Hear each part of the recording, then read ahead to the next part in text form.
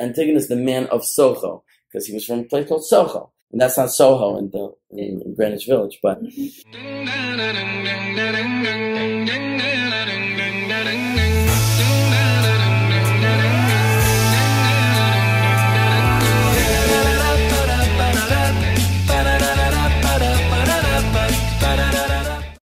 have the famous story in the Gemara of Nachum Ish Gamzu. Familiar with the story of Nachum Ish Gamzu? Some of you are. That he said any anything Gemara says anything that happened to him, he would say Gamzu Tov. And I want to here I want to share something that just this is a random trivial factoid that I happen to know and most people don't know. So I figure I'll share it because if you don't hear it from me, and I can hear it from anyone else. Very famously, the Gemara is quoted as saying he was called Nachum Ish Gamzu because he he would always say Gamzu Latova. Right, this too is for the good. Now, I have come across in my research of Gam, Nachum Ish Gamzu because I like to research the personalities of the Talmud um, that there are variants of the Gemara that don't say this. They don't say that's the reason he was called Nachum Ish Gamzu. In fact, it appears, it may seem that the older, more authentic text of the Gemara is missing that, and it was added in later. Why do I say that? Because if you look at some old Mefarshim, some old commentaries on the Gemara who predate Rashi, the commentary is the one that informs us why he was called Nachum Ish Gamzu, as though it wasn't in the text. You see it's in the commentary. Oh, why was he called Nachum Ish Gamzu? Because he used to say Gamzu Latova. Why do I need a commentary to tell me that it's in the text? You see, this commentary did not have that in the text, and he was adding it in, and it's my feeling, based on that, that later editors just added it to the text. Um, I'm not arguing with the fact, but the question is whether it's there. Why? Because there are other opinions that his name was Nachum Ish Gimzo, actually, with no vowels in the Gemara. So, how do you know? Because there are other opinions that his name was Nachum Ish Gimzo, because Gimzo is the name of a city in the Tanakh, and he was from this city. He was Ish Gimzo, the man of Gimzo, like uh, Antigonus Ish Socho. Antigonus, the man of Socho, because he was from a place called Socho.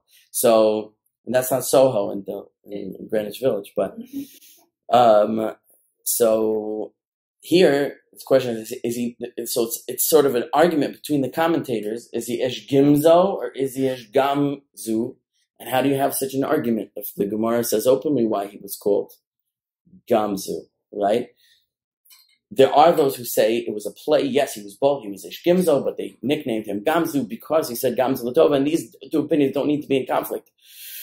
Um, but that's just an interesting tidbit about Nachum Gamzu. But Nachum Gamzu, one of the opinions, or our current uh, contemporary text of the Gemara says that he was called Nachum Ish Gamzu, man of Gamzu, because he always said Gamzu Latova. No matter what happened, this too is for the good.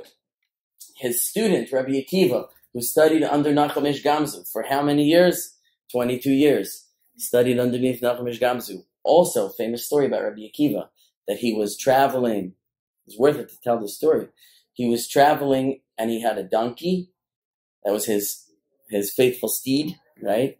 He had a chicken, which was going to be his meal, and he had a uh, candle or a torch. He had some kind of flame to light his way. And he came to a town and he asked for lodging, and everyone turned him down. So here he was, he had nowhere to stay, and he was going to have to sleep in the field. So he says, Kol, Kol my Avid Rahmana, everything which God does, Rahmana means the merciful one, God. the same thing in Arabic, Rahman. They call God Rahman in, uh, in Arabic. Everything that the merciful one does, litav of it, litav of it. He does litav for good. Latova. This is Aramaic for latova is litav. And so what happens? He's sleeping there, and the next, uh, no, so in the middle of the night, um, a lion comes and kills his donkey. And then he says, everything God does is for good. And then uh, a, I think a weasel comes and eats his chicken. He says, everything God does is for good. And then a wind comes and blows out his light. He says, everything God does is for good. The next morning he comes into town and everybody's dead. And he looks around, he finds somebody, and he says, what happened over here? And they say, oh, there was a, a band of uh, marauders that came in the middle of the night and they killed everybody. And so So Rabbi Akiva says, wow, if I had had my animals making noise, they would have discovered me. If I had had my light, you know, uh, shining, they would have discovered me, and I also could have been a casualty. So indeed, all the things that happened to me that appeared to be unfortunate when they happened were actually litav. They were for good. You